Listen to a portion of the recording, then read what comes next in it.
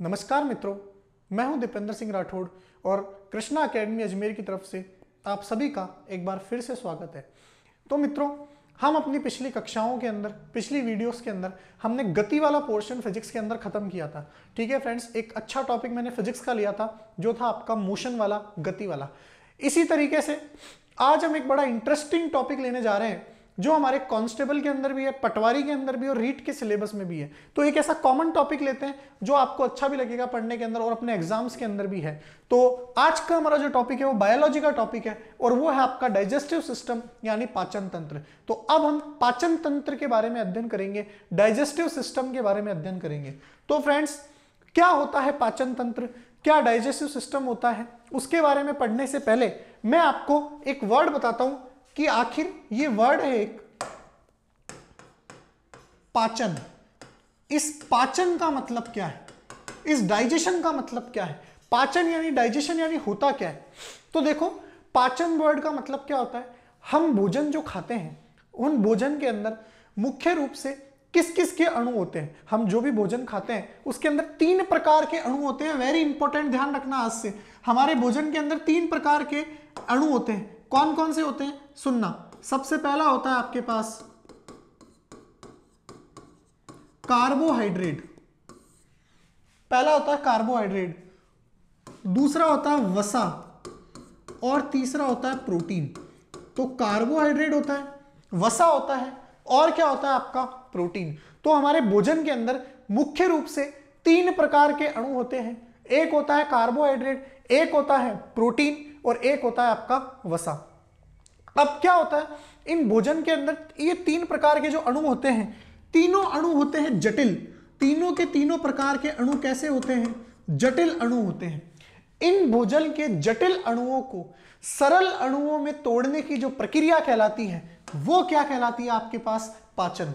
तो पाचन का मतलब क्या होता है? भोजन के अंदर उपस्थित जटिल अणुओं को सरल अणुओं में तोड़ने की प्रक्रिया पाचन कहलाती है। ठीक है फ्रेंड्स और वो जटिल अणु होते कौन से हैं? कार्बोहाइड्रेट होता है, वसा होता है, और क्या होता है आपके पास? प्रोटीन होता है। तो भोजन के जटिल अणुओं को सरल अणुओं में तोड़ने की प्रक्रिया क्या कहलाती है? पाचन कहलाती है। अब इस पाचन की क्रिया के अंतर्गत, इन कार्बोहाइड्रेट के अंदर, वसा के अंदर प्रोटीन के अंदर इनको किन में परिवर्तित किया जाता है? ये अपन बाद में देखेंगे। आपसे अगर कोई पूछ ले कि बताओ, पाचन की परिभाषा क्या होती है तो क्या बोलोगे? भोजन में उपस्थित जटिल अणुओं, जैसे कार्बोहाइड्रेट, वसा, प्रोटीन आदि को सरल अणुओं में तोड़ने की प्रक्रिया क्या कहलाती है? पाचन। और शरीर के जिस तंत्र द्वारा यह कार्य किया जाता है, हमारे शरीर के जिस तंत्र द्वारा यह कार्य किया जाएगा, उस तंत्र का नाम क्या है आपके पास? उस तंत्र का नाम है पाचन तंत्र। तो जिस तंत्र के अंतर्गत हमारा शरीर इन जटिल अणुओं को सरल अणुओं में तोड़ेगा, वो तंत्र कौन सा होगा आपका? पाचन तंत्र होगा। और हमारे को इस पाचन तंत्र के बारे में ही पढ़ना है डिटेल से। तो फ्रेंड्स, ये हमारा इंट्रोडक्शन है। पाचन का मतलब क्या होता है? अब अपन समझ गए कि पाचन की क्रिया जिस तंत्र द्वारा शरीर के की जाती है, उस तंत्र का नाम क्या है आपके पास? पाचन तंत्र है। तो अब हमारी स्टडी किसके ऊपर होगी? पाचन तंत्र के ऊपर होगी। तो फ्रेंड्स पढ़ते हैं हम कि आखिर ये पाचन तंत्र क्या होता है? तो पाचन तंत्र पढ़ने से पहले आपको ये जानना ज़रूरी है कि पाचन तंत्र के अंतर्गत इन किन किन अणुओं को किसमें चेंज किया जाता है? तो मैंने आपको बोला कि भाई पाचन भोजन के अंदर सबसे पहला होता है कार्बोहाइड्रेट तो पाचन तंत्र जो होता है, वो इस कार्बोहाइड्रेट को, इस कार्बोहाइड्रेट को किसमें बदलता है? कार्बोहाइड्रेट को पाचन तंत्र बदलता है। ग्लूकोज के अणुओं में। ग्लूकोज के छोटे छोटे अणुओं के अंदर वो पाचन तंत्र के द्वारा कार्बोहाइड्रेट को परिवर्तित किया जाता है। दूसरा भाग आपके पास कार्बोहाइड्रेट के बाद होता है। कार्बोहाइड्रेट के बाद दूसरा भाग होता है वसा। और वसा को, फैट को किसमें चेंज किया जाता है? वसीय अम्लों के अंदर, फैटी एसिड्स के अंदर चेंज किया जाता है। तो वसा को किसमें चेंज किया जाता है? वसीय अम्लों में परिवर्तित किया जाता है। इसी के साथ तीसरा होता है प्रोटीन। और इस प्रोटीन को किसमें परिवर्तित किया जाता है? प्रोटीन को चेंज किया जाता है अमीनो अम्लों के अंदर। तो सबसे इंपॉर्टेंट क्वेश्चन यहीं से बन जाता है पहला। कि पाचन तंत्र के अंतर्गत ये जो जटिल अणु होते हैं कार्बोहाइड्रेट इसको किसमें परिवर्तित किया जाता है? ग्लूकोज के अंदर। वसा को किसमें चेंज किया जाता है? वसी अम्लों के अंदर फैट को फैटी एसिड्स के अंदर, और प्रोटीन्स को किसमें चेंज किया जाता है? अमीनो एसिड्स यानी अमीनो अम्लों के अंदर चेंज किया जाता है। तो ये हमारा पाचन तंत्र का कार्य होता है। ठीक है फ्रेंड्स तो हमने पाचन की परिभाषा पढ़ ली है, हमने पाचन तंत्र की परिभाषा पढ़ ली है।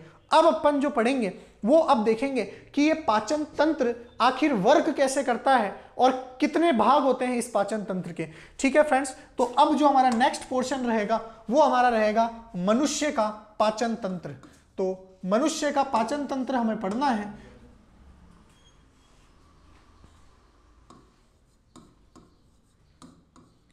तो देखिए फ्रेंड्स ये हमारे शरीर का जो पाचन तंत्र होता है ये दो भागों में बटा होता है। हमारे शरीर का पाचन तंत्र जो होता है, कितने भागों में बटा होता है? दो भागों में बटा होता है। कौन कौन से? देखिए फ्रेंड्स ध्यान से।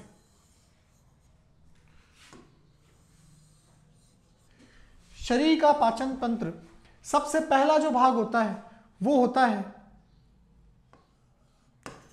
आहार नाल।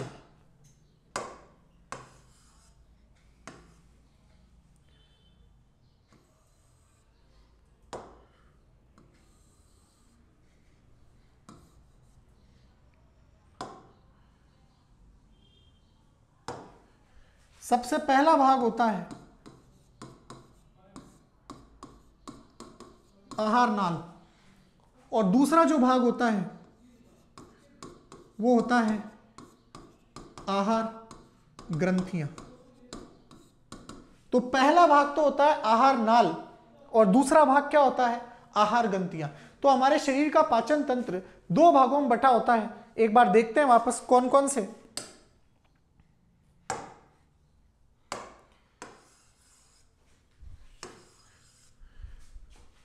पहला तो होता है आपका।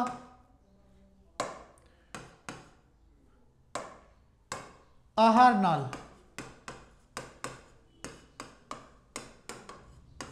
और दूसरा कौन सा होता है? दूसरा होता है।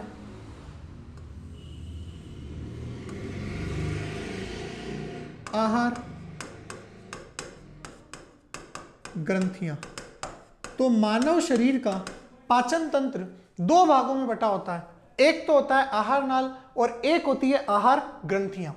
अब देखिए फ्रेंड्स, आहार नाल जो होता है, आहार नाल और आगे भागों में बटी होती है कौन कौन सी?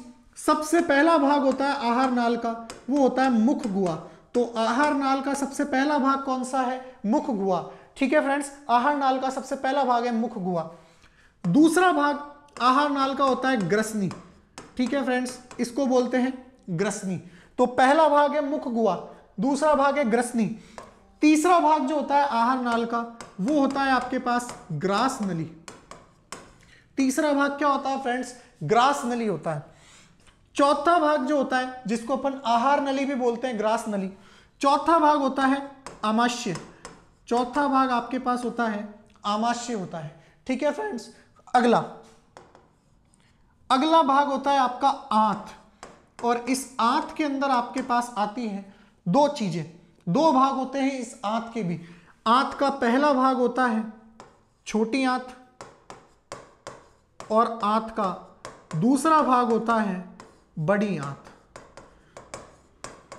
तो आहार नाल कितने भागों में बटी होती है? पाचन तंत्र सबसे पहले दो भागों में बटा होता है। पहला भाग है आहार नाल। आहार नाल कितने भागों में? मुख गुआ ग्रसनी ग्रास नली अमाशय और आंत।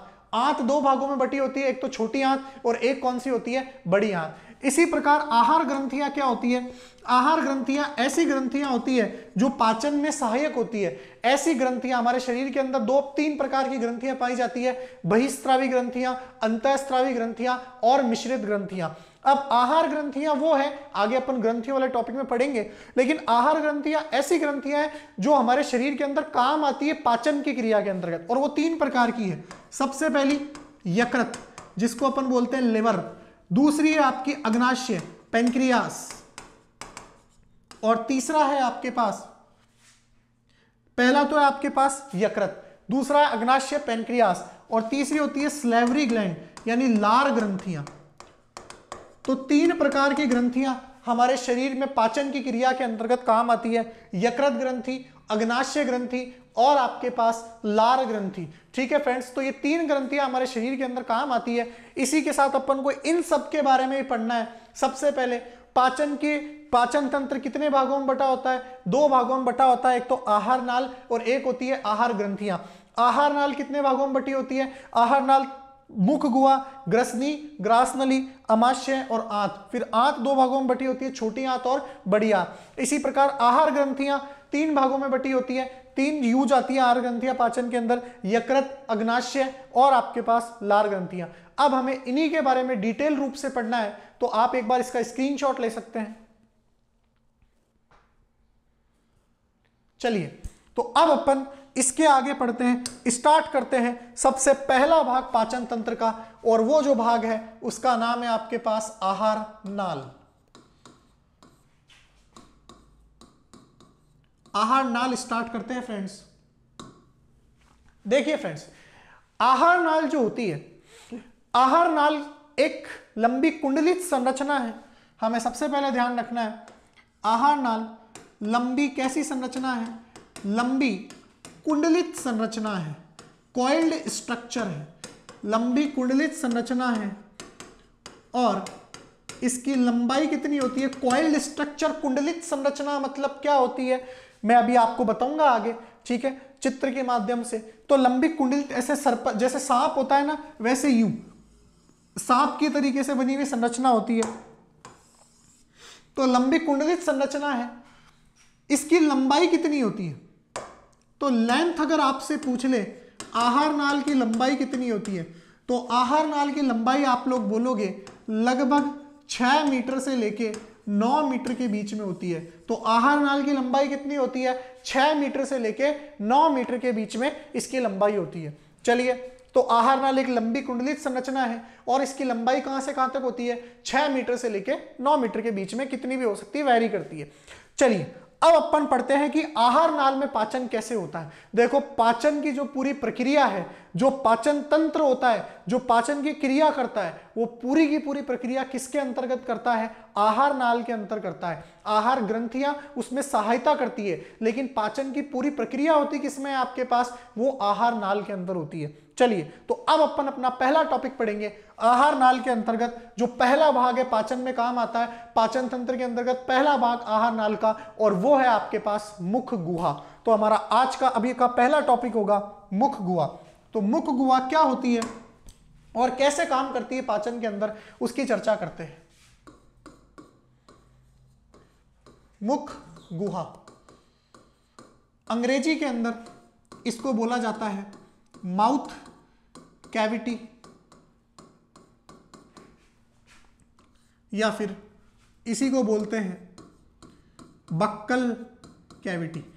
माउथ कैविटी या बक्कल कैविटी। तो मुख गुहा पहला भाग है जिसको माउथ कैविटी या बक्कल कैविटी बोलते हैं। अब देखिए फ्रेंड्स, मुख गुहा क्या होती है? तो आपको बताते हैं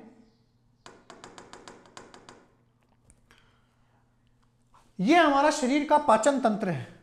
इस पाचन तंत्र के अंतर्गत, ये जो पहला भाग है हमारे शरीर के पाचन तंत्र के अंतर्गत, पहला भाग, ये जो वाला पोर्शन है आपके पास, ये कहलाता है मुख गुआ माउथ जिसको आप बोलते हो। तो मुख गुआ आपके पास ये वाला पोर्शन है, सबसे पहला भाग ये मुख गुआ कहलाता है। इस मुख गुआ के अंतर्गत क्या क्या होता है? उसकी चर्चा अपन देखेंगे। तो आपको चित्र के अंदर दिख रहा होगा, ये वाला जो पोर्शन है, इसको अपन माउथ बोलते हैं, मुख गुआ बोलते हैं। ठीक है फ्रेंड्स तो मुख गुआ ये होती है। अब मुख गुहा के अंदर,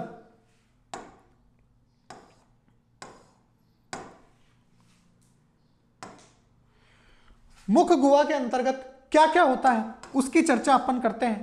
तो मुख गुहा के अंतर्गत आप देखना, दो भाग मुख्य रूप से हम भोजन को मुँह के अंदर रखते हैं। तो मुँह के अंदर रखते ही आप सबसे पहला काम क्या होता है? हम भोजन को मुँह के अंदर रखते हैं।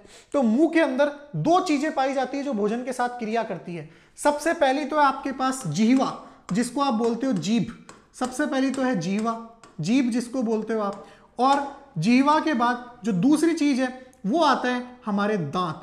तो सबसे पहला पोर्शन है तो जीभ और दूसरा पोर्शन जो है, वो क्या कहलाता है आपके दांत। तो दो भाग है मुख गुआ के अंतर्गत जो हमारे भोजन पे क्रिया करते हैं। सबसे पहला तो है जीवा और दूसरा क्या है आपके पास? दांत। ठीक है? तो हम इन दोनों के बारे में पढ़ना है कि मुख गुआ के अंतर्गत भोजन पे क्रिया दो चीज़ों द्वारा होती है। एक तो जीवा द्वारा होती है जीव द्वारा, और एक होती है दांत द्वारा। ठीक है फ्रेंड्स? तो अब देखते हैं, सबसे पहले तो जीवा क्या काम करती है? और आपके पास ये जो दांत है, वो क्या काम करते हैं? उनकी चर्चा बाद में करेंगे। सबसे पहला काम, ये जो सबसे पहली चीज़ है, वो कौन सी है आपके पास? जीवा। तो जीवा क्या करती है? उसकी चर्चा करते हैं। जीवा यानी जीभ। देखिए फ्रेंड्स, जीवा जो होती है, जीवा भोजन का टेस्ट बताती है। क्या बताती है जीवा? जीवा भोजन का टेस्ट बताने का काम करती है। भोजन का पाचन के अंतर्गत जीवा का कोई काम नहीं होता। जीव सिर्फ़ भोजन का क्या बताती है? टेस्ट बताती है। ठीक है फ्रेंड्स, अभी हमने क्या करा है? मैंने आपको बोला है, हम पाचन तंत्र के अंतर्गत आहार नाल पढ़ रहे हैं। आहार नाल का पहला भाग पढ़ रहे हैं और वो पहला भाग जो है, वो है आपके पास मुख गुआ मुख गुआ के अंतर्गत क्या हो रहा है? मुख गुआ में हमने भोजन को रखा है और क्रिया स्टार्ट होती है भोजन को रखते ही सबसे पहला काम होता है मुख गुआ में जीभ का। जीभ हमारे को क्या बताती है भोजन का? टेस्ट बताती है। कैसे बताती है टेस्ट? तो सब ध्यान से सुनना मेरी बात को। टेस्ट कैसे बताती है? ये आपके पास जीवा है। ये आपकी जीवा होती है। ये जीवा क्या करती है? जीवा का जो सबसे पिछला पोर्शन है, सबसे पीछे वाला पोर्शन है, ये सबसे पीछे वाला पोर्शन जीवा का सबसे पीछे वाला पोर्शन आपके पास कैसा स्वाद बताता है? सबसे पीछे वाला पोर्शन बताता है कड़वा स्वाद। तो सबसे पीछे वाला पोर्शन कैसा स्वाद बताता है? जीवा का कड़वा स्वाद बताता है। कड़वे को बोलते हैं बिटर। क्या बोलते हैं कड़वे को? बिटर बोलते हैं। तो जीवा का सबसे पीछे वाला भाग कैसा स्वाद बताता है? कड़वा स्वाद बताता है, बिटर स्वाद बताता है। उसके बाद आता है कि मध्य के जो किनारे वाले भाग हैं, ये मध्य के जो किनारे वाले भाग हैं, ये भाग ये भाग कैसा स्वाद बताते हैं? तो मध्य के जो किनारे वाले भाग हैं, ये मध्य के किनारे वाले भाग कैसा स्वाद बताते हैं? मध्य के किनारे वाले भाग आपके पास स्वाद बताते हैं खट्टा स्वाद। खट्टे को क्या बोलते हैं अपन? सोर बोलते हैं। तो मध्य के किनारे वाले भाग कैसा बताते हैं? खट्टा स्वाद बताते हैं भोजन का। उसके बाद आपके पास आते हैं आगे के किनारे वाले भाग। ये जो आगे के किनारे होते, आगे के आगे के किनारे होते हैं, ये वाले, ये आगे के किनारे वाले भाग कैसा बताते हैं? तो आगे के किनारे वाले भाग हमें बताते हैं नमकीन स्वाद। कैसा स्वाद बताते हैं? नमकीन स्वाद बताते हैं। नमकीन का मतलब होता है सॉल्टी। कैसा स्वाद बताते हैं? सॉल्टी स्वाद बताते हैं। तो जीभ का सबसे पिछला वाला भाग क्या बताता है? कड़वा स्वाद बताता है। मध्य के किनारों वाला कैसा बताता है? खट्टा स्वाद बताता है। और आगे के किनारों वाला कैसा बताता है? नमकीन स्वाद बताता है सॉल्टी स्वाद बताता है। और सबसे आगे वाला, जो सबसे आगे वाला स्वाद है, सबसे आगे वाला जो जीभ का पार्ट है, ये वाला जो पोर्शन होता है, ये सबसे आगे वाला पोर्शन क्या करता है?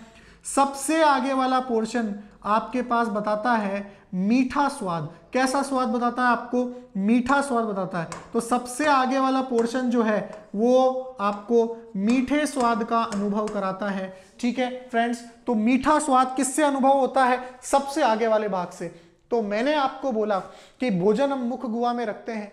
तो सबसे पहला काम होता है जीभ का। जीभ सबसे पहले भोजन का टेस्ट बताती है। भोजन को पाचन का कार्य नहीं करती है। तो जीभ का सबसे पिछला भाग क्या बताता है? कड़वा स्वाद बताता है। मध्य के किनारों वाला, खट्टा स्वाद। आगे के किनारों वाला, नमकीन स्वाद। और सबसे आगे वाला कैसा स्वाद बताता है? मीठा स्वाद बनाता है। स्वीट, जिसको आप अंग्रेज़ी भाषा में बोल सकते हो, स्वीट टेस्ट बताता है। चलिए फ्रेंड्स, मेरे हिसाब से ये जीवा वाला पोर्शन आपको समझ में आया होगा कि जीवा भोजन के टेस्ट का काम करती है, टेस्ट बताने का काम करती है। आप इसका स्क्रीनशॉट आराम से ले सकते हैं। चित्र के माध्यम से आपको समझ में भी आ गया होगा कि जीवा द्वारा भोजन का टेस्ट किस प्रकार बताया जाता है। अब अपन नेक्स्ट चीज़ पे बढ़ते हैं। नेक्स्ट जो पोर्शन है नेक्स्ट पोर्शन आपका है जीवा के बाद में। अगला पोर्शन है मुख गुआ का दूसरा भाग, जो दांत होते हैं, इनके बारे में पढ़ना है। वेरी इंपॉर्टेंट पोर्शन टीथ यानी दांत। ये क्या करते हैं? टीथ। तो देखो, जीवा ने भोजन का टेस्ट बताया है। अब दांत क्या करते हैं? दांत भोजन को काटने का काम करते हैं, तोड़ने का काम करते हैं, पीसने का काम करते हैं। तो यहाँ से पाचन स्टार्ट होता है। दांत भोजन को क्या करते हैं? पीसने का काम करते हैं, तोड़ने का काम करते हैं। ठीक है फ्रेंड्स किस तरीके से? तो देखो वो तो अपन बाद में देखेंगे किस तरीके से करते हैं। सबसे पहले अब अपन मनुष्य के दांतों के बारे में स्टडी करेंगे, क्योंकि ये इंपॉर्टेंट है, आता है इससे क्वेश्चन तो मनुष्य के दांत कितने प्रकार के होते हैं, ये हमें पता होना चाहिए। तो सबसे पहली बात है, मनुष्य के जो दांत होते हैं, वो दो प्रकार के होते हैं। कितने प्रकार के होते हैं? दो प्रकार के। कौन कौन से? एक तो होते हैं आपके पास अस्थाई दांत। मनुष्य के पहले दांत जो होते हैं, वो कौन से होते हैं? अस्थाई दांत होते हैं। अस्थाई दांत कितने होते हैं? अस्थाई दांत मनुष्य में होते हैं बीस, जिसको आप दूध के दांत भी बोलते हो, जो बाल्य अवस्था तक रहते हैं। ठीक है फ्रेंड्स जो बचपन में रहते हैं, बाल्य अवस्था तक। ये आपके पास अस्थाई दांत होते हैं, जिसको दूध के दांत बोलते हो। उसके बाद जब आप वयस्क हो जाते हो 18 वर्ष से ऊपर हो जाते हो, तब आपके पास स्थायी दांत होते हैं। तो मनुष्य के अंदर दो प्रकार के दांत पाए जाते हैं। एक तो अस्थाई दांत और एक स्थायी दांत पाए जाते हैं। तो अस्थाई दांत तो होते हैं बीस और स्थायी दांत आपके पास होते हैं बत्तीस। ठीक है फ्रेंड्स? स्थायी दांत कितने होते हैं? बत्तीस दांत होते हैं। बत्तीस होते हैं बीस वर्ष के बाद। अभी आगे बताऊँगा मैं आपको, जब आपके अक्कल डाढ़ आ जाती है, जब तक आपके अक्कल डाढ़ नहीं आती है, तब तक आपके 28 दांत ही रहते हैं 20 वर्ष की उम्र तक। 20 वर्ष से ऊपर जब आपके पास अक्कल डाढ़ आपके आ जाती है, तब दांत कितने हो जाते हैं? बत्तीस। ये आपकी बत्तीस ही होती है पूरी। अब देखिए फ्रेंड्स क्या होता है? अभी यूपीएससी के अंदर एक क्वेश्चन पूछा गया था। पूछा गया था, मनुष्य के अंदर कुल स्थायी दांतों की संख्या कितनी होती है? ऑप्शन थे दस, बीस, चौदह या बारह। अब देखो, बत्तीस ऑप्शन में नहीं था। एक्चुअली क्या होता है? ये अस्थायी दांत मनुष्य के अंदर किसमें परिवर्तित हो जाते हैं? स्थायी दांतों में। इसलिए बेसिकली नए जो स्थायी दांत है कितने? जो ओरिजिनल स्थायी दांत कितने बत्तीस में से आप 20 घटाओगे, कितने बचे? 12 तो जो ओरिजिनल स्थायी दांत है, वो है कितने आपके पास? 12 है, ये 20 इसके अंदर पक्के होके मिल जाते हैं। तो इसीलिए आपका आंसर रहेगा 12 अगर आपके पास इस तरीके का क्वेश्चन आए कि स्थायी दांतों की संख्या कितनी होती है, ठीक है फ्रेंड्स? मेरे हिसाब से आपको ये बात समझ में आई होगी। दांत कितने प्रकार के होते हैं मनुष्य में? दो प्रकार के होते हैं। अभी पाचन के अंदर दांतों का कार्य क्या होता है? वो अपन आगे पढ़ेंगे। दो प्रकार के दांत होते हैं। एक तो होता है अस्थाई दांत और एक होता है स्थायी दांत। अस्थाई दांतों की संख्या होती है बीस और स्थायी दांतों की संख्या क्या होती है आपके पास? बत्तीस। अब अपन क्या करेंगे? अब अस्थायी दांत हमें नहीं पढ़ने, क्योंकि हमारे काम के नहीं है। हमें क्या पढ़ना है? स्थायी दांतों के बारे में पढ़ना है कि स्थायी दांत क्या होते हैं। तो अब हमारा जो टॉपिक रहेगा, वो रहेगा स्थायी दांतों के बारे में। तो स्थायी दांत पढ़ते हैं। अगला टॉपिक है हमारा नेक्स्ट स्थायी दांत।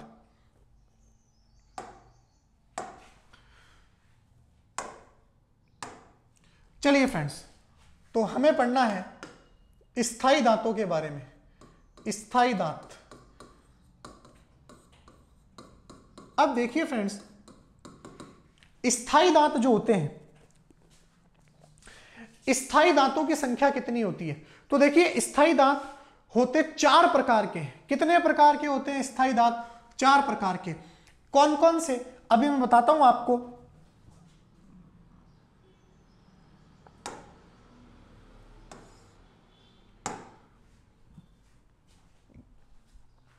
देखिए फ्रेंड्स, ये आपको चित्र नज़र आ रहा होगा यहाँ पे। स्थायी दांत चार प्रकार के होते हैं। कौन कौन से होते हैं? देखते हैं अपन। सबसे पहला,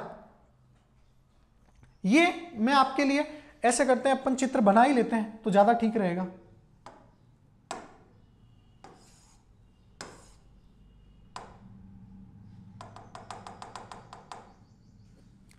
देखिए फ्रेंड्स ये आपके पास मैं मनुष्य के एक जबड़े की बात करता हूँ।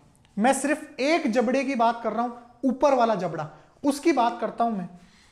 हमारे टोटल दांत कितने होते हैं? बत्तीस होते हैं। तो एक में कितने हो जाएँगे आपके पास? एक जगह आपके पास हो जाएँगे। मेरे हिसाब से सोलह ही होंगे। तो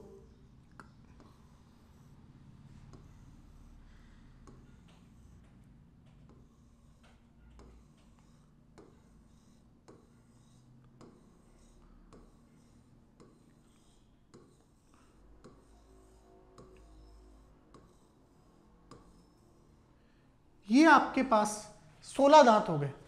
अब हमें इन्हीं के बारे में पढ़ना है। फिर जो होंगे, ऊपर होंगे, वही नीचे होंगे, ठीक है? वही हमने ऊपर वाले जबड़े की बात करी है। अब देखिए।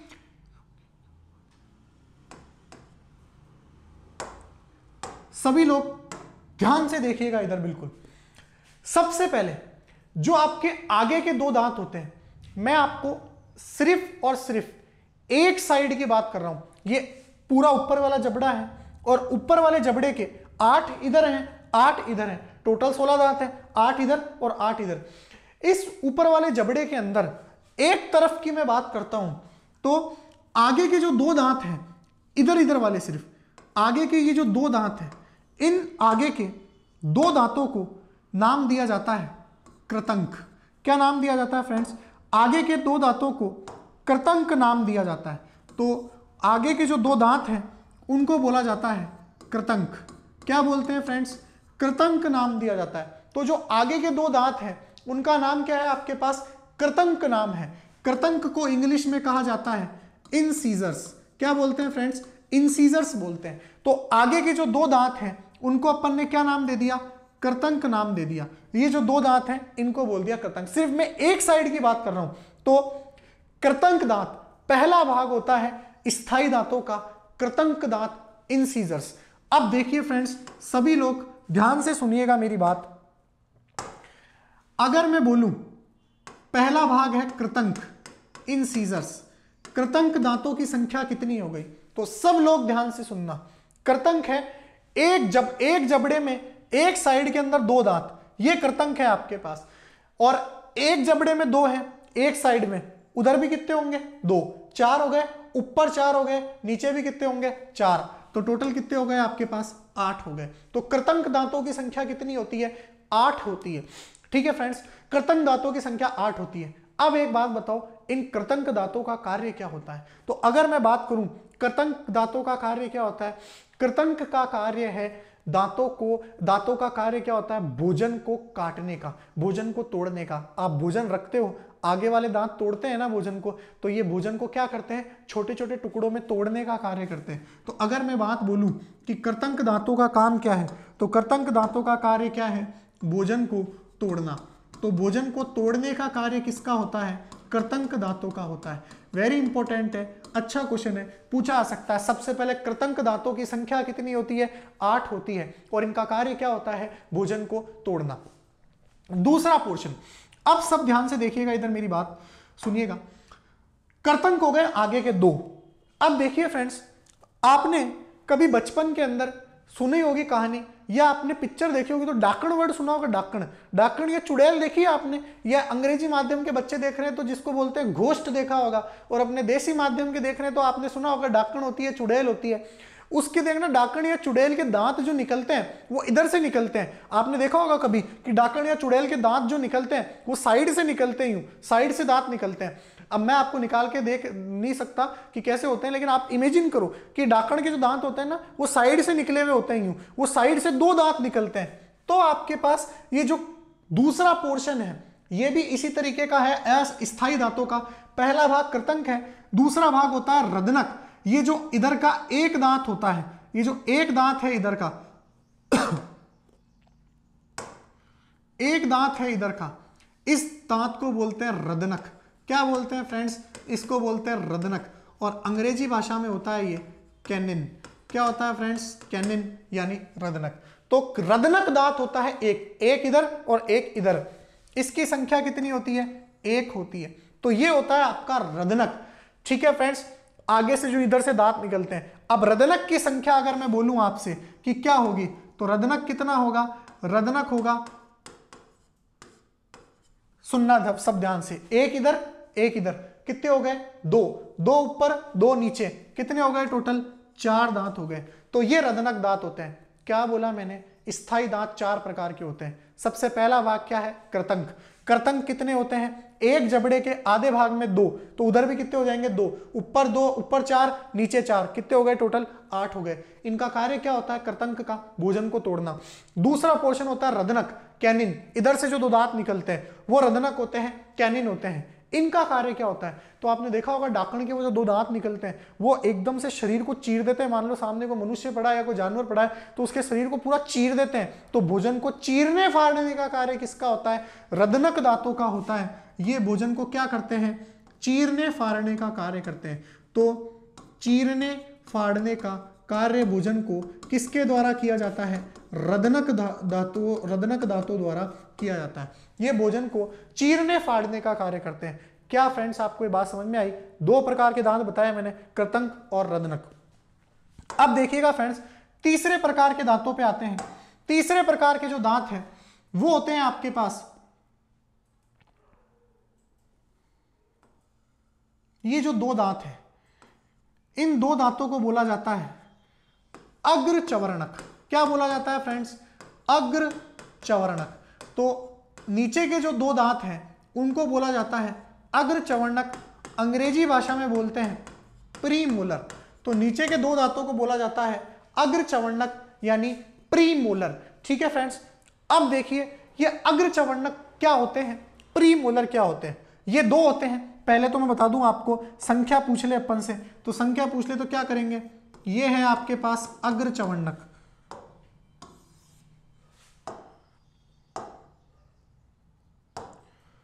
ये मान लो है अग्र चवर्णक आपसे पूछ ले बताओ अग्र चवर्णक की संख्या क्या होगी? तो अग्र चवर्णक की संख्या क्या होगी? देखो भाई, दो इधर होते हैं, दो उधर होंगे, चार चार ऊपर, चार नीचे। टोटल कितने हो गए? आठ। तो अग्र चवर्णक की संख्या कितनी हो जाएगी टोटल? आठ हो जाएगी आपके पास। अग्र चवर्णक कितने होते हैं? टोटल आठ होते हैं आपके पास। ये हमारे को ध्यान रखना है। अगली बात अग्र चवर्णक किस काम क्या होता है? तो अग्र चवर्णक और आगे मैं आपको चवर्णक बताऊँगा, दोनों का काम एक साथ बता दूँगा। तो इसके बाद में जो लास्ट के तीन बचते हैं, ये जो लास्ट के तीन हैं, इन लास्ट के तीन का कार्य क्या होता है और ये लास्ट के तीन को अपन बोलते क्या है? तो इंपॉर्टेंट है, इनके बारे में ध्यान रखना। ये जो लास्ट के तीन होते हैं, इन लास्ट के तीन को बोला जाता है, मोलर इनको बोलते हैं चवर्णक बोला जाता है। हिंदी के अंदर क्या बोलते हैं इनको? हिंदी के अंदर बोलते हैं चवर्णक क्या बोला जाता है फ्रेंड्स इनको बोला जाता है चवर्णक और अंग्रेज़ी भाषा में इनको बोला जाता है मोलर। चवर्णक या फिर मोलर। इनकी संख्या कितनी होती है? तीन होती है। तीन इधर, तीन उधर। कितने हो गए टोटल छह। छह ऊपर छः नीचे। टोटल कितने हो गए आपके पास? टोटल चवर्णकों की संख्या हो गई आपके पास बारह। तो ये आपके पास चवर्णक दांत होते हैं। क्या बोला मैंने? ध्यान से सुनना पूरी बात। चवर्णक की संख्या कितनी होती है? तीन इधर, तीन उधर। छह। छह और छह टोटल कितने हो गए आपके पास? बारह हो गए। तो ये बारह चवर्णक हो गए। अब देखिए, चवर्णक और अग्र चवर्णक का कार्य क्या होता है? तो इन दोनों का कार्य जो होता है, इन दोनों का कार्य आपके पास होता है भोजन को पीसने का। तो भोजन को पीसने का कार्य किसका होता है? भाई, आप पीछे ही लेके जाते हो ना, भोजन को पीसने का कार्य। आपको जब भी भोजन को आगे से टूट गया और जब पीसने के लिए आप पीछे लेके जाते हो ना भोजन को, डाढ़ी तो आपके पीसने का कार्य करती है। तो ये भोजन को पीसने का काम करते हैं। वापस सुनना पूरी बात। मैंने क्या बोला है? स्थायी दांत चार प्रकार के होते हैं। कृतंक, रदनक अग्र चवंडक कर्तंक की संख्या कितनी होती है? आगे के जो दो दांत होते हैं, वो कर्तंक होते हैं। दो इधर, दो उधर, चार। चार ऊपर, चार नीचे टोटल हो गए आठ। इनका काम क्या होता है? भोजन को तोड़ने का। फिर होता है रदनक, वो डाकण वाले जो निकलते हैं। दो ऊपर, दो नीचे, चार हो गए। इनका काम क्या होता है? चीरने, फाड़ने का। फिर होता है अग्र चवंडक अग्र चवंडक क्या होते हैं? ये जो तीन, दो दांत है इधर, दो दांत उधर है। चार, चारों चार टोटल कितने हो गए? आठ। फिर आता है चवंडक चवंडक आते हैं, तीन दांत लास्ट के, तीन इधर, तीन उधर। तो टोटल कितने हो गए? छह छह और ऊपर, छह नीचे कितने हो गए? बारह। इनका काम क्या होता है? इन दोनों का काम होता है भोजन को पीसने का। अब वेरी वेरी इंपॉर्टेंट बात, सभी ध्यान से सुनना। ये जो आपके पास लास्ट के दांत है, प्रत्येक चवंडक का अंतिम दांत, ये जो अंतिम दांत है चवंडक का, मोलर का, इसको अपन बोलते हैं अक्कल दांत। अक्कल डांड जिसको बोलते हो। आप अक्कल डांड जिसको बोलते हो, वो यही होती है, अक्कल डांड या फिर बुद्धि दांत। बुद्धि दांत अंग्रेज़ी में बोलते हैं विजडम टूथ। आया हुआ प्रश्न है, विजडम टूथ किसको कहा जाता है? तो अक्कल डांट या बुद्धि दांत या विजडम टूथ किसको बोला जाता है?